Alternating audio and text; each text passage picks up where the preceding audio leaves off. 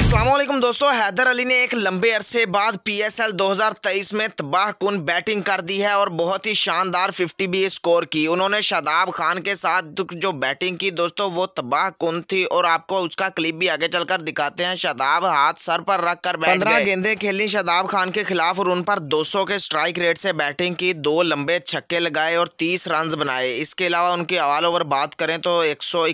के strike rate से उन्होंने बैटिंग की और उनसठ रन की शानदार इनिंग इनिंग्स खेली और बहुत ही बड़े अरसे बाद हैदर अली हमें रियल फॉर्म में नजर आए किंग्स इतना बड़ा टोटल तो नहीं लगा पाए क्योंकि दो तीन लगातार विकटें गिरी लेकिन हैदर अली ने आज अपना काम कर दिखाया और ऐसे ही हैदर अली हमें देखने को मिलते रहे तो रियल इंटरटेनिंग होगा लेकिन शादाब की बुरी बॉलिंग आज रही शर्जील ने भी उमदा खेला चौंतीस रन बनाए और हैदर अली के साथ मिलकर पचास रन की शानदार पार्टनरशिप लगाई शर्जील आउट हो गए लेकिन हैदर ने अपना काम जारी रखा और उनसठ रन पर वो भी बाजी हार गए तो दोस्तों हैदर अली के लिए एक लाइक करें करें कमेंट्स में राय दें कि क्या हैदर अली की गेम अभी बची है वो खेल सकते हैं पाकिस्तान के लिए या फिर नहीं लाइक करें सब्सक्राइब करें शेयर करें अल्लाह हाफिज़